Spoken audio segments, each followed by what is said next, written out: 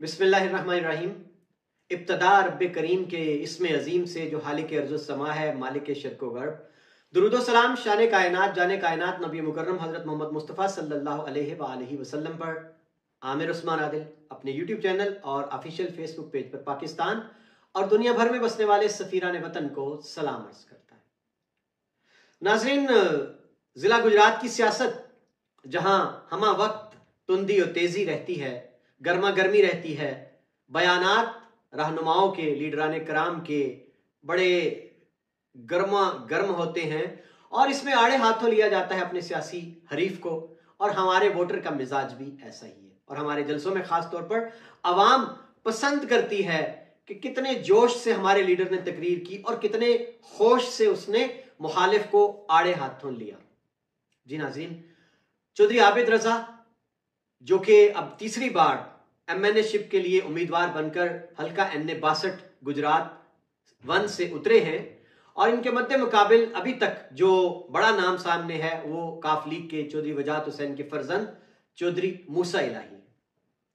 और नाजिम याद रहे कि चौधरी आबिद रजा ने जब 2007-8 में पहली बार खुद अमली तौर पर मैदान अमल में निकलने का फैसला किया तो उनकी वजह शोहरत जो बनी, वो गुजरात के चौधरीों को पूरी जुर्रत के साथ ललकारना था।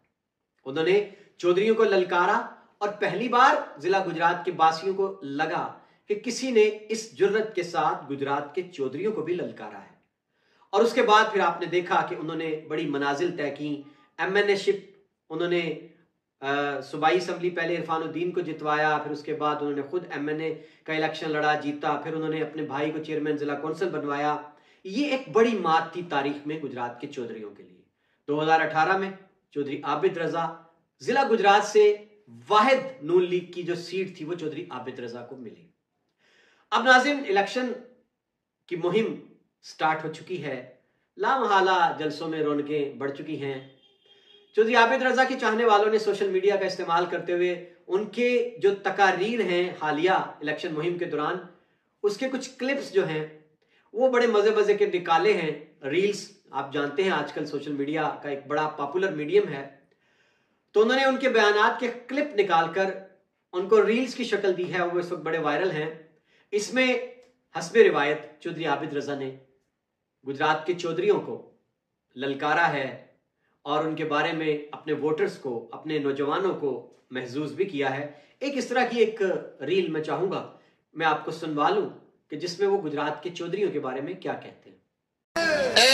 आज भी जाके उन्होंने बूट पालिश करके भीड़ की गड्डी मार के वापस आए पहले आंदे जी, शुजा साहब ने डॉलर लैके ते शुजा साहब विच गए ने ते परवेज राई साहब साडे लीडर ने, ते जू जुत्ती खड़की है वापस नसते ने ही आरज़ू कीती ने वापस गुजरात तां सानू लीड फॉर दी सिक्योरिटी दियो ਇਹਨਾਂ ਗੁਜਰਾਤ ਵਾਲਿਆਂ ਚੋਰੀਆਂ ਦੀ ਔਲਾਦ ਕੋਲ ਪੁਲਿਸ ਵਾਪਸ ਲੈ ਲਈ ਜਾਏ ਮੈਂ ਲਿਖ ਕੇ ਦੇਖਣਾ ਜਿਹੜੇ ਗੁਜਰਾਤ ਦੇ ਕਿਸੇ ਪਿੰਡ ਦੀ ਫਾਤਿਆ ਖੜੀ ਜਾਣ ਵੀ ਲਈ ਹੈ ਇਹ ਪੁਲਿਸ ਦੇ ਆਦੀ ਹੋ ਗਏ ਕਿ ਇਹਨਾਂ ਨਾਲ ਪੁਲਿਸ ਦੀ ਗੱਡੀ ਨਾ ਹੋਵੇ ਤੇ ਇਹ ਬਾਹਰ ਪਿੰਡਾਂ 'ਚ ਵੀ ਨਹੀਂ ਜਾ ਸਕਦੇ नाजिन आपने सुना चौधरी आबिद रजा ने कहा गुजरात के चौधरीों के हवाले से कि ये गए हैं और फिर वहां से बूट पॉलिश करके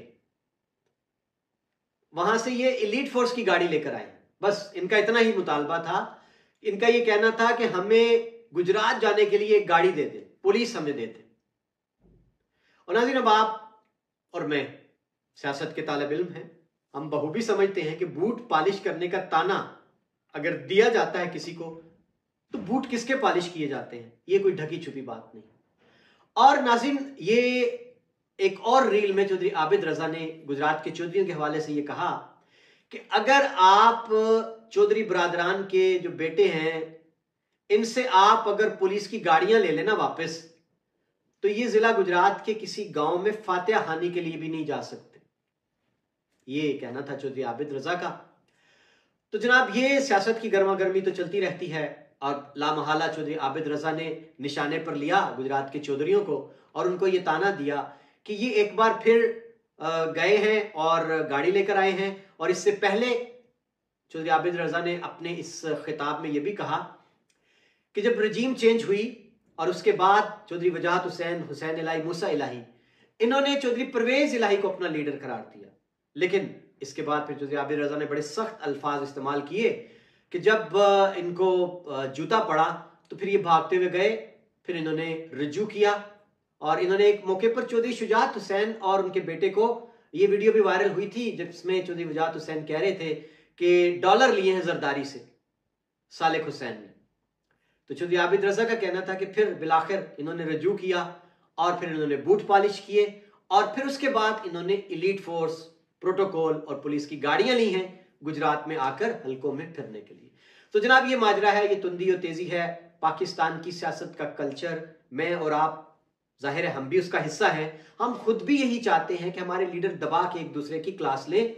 तो नाजिन, ये कल्चर तब्दील नहीं होता, ना ये होगा। ऐसा ही चलता आया है, ऐसा ही चलता रहेगा। जब तक कि वोटर बाशोर नहीं होता और वो तमाम लीडरान कराम से ये मुतालबा नहीं करता कि आप जलसों में अपनी खिदमत का प्रोग्राम अपने जो आपने डेवलपमेंट के मंसूबे अगर मुकम्मल किए हैं, उनकी बाबत बताएँ। आइंदा के लिए आप अपना प्रोग्राम बताएँ, अपना लाया अमल बताएँ, अपना मंशूर बताएँ। सियासत में ये बाब बंद होना चाहिए कि जहाँ सियासी हरीफों के ऊपर ज़ातियात की हद तक जाकर यूँ गुफ्तु की जाती है। बहुत शुक्रिया नाजिन, अपना ख्याल रखिएगा। मुझे इजाज़त दीजिए अगली वीडियो तक। अपने कमेंट देना मत भूलिएगा। सलामत रहें। आबाद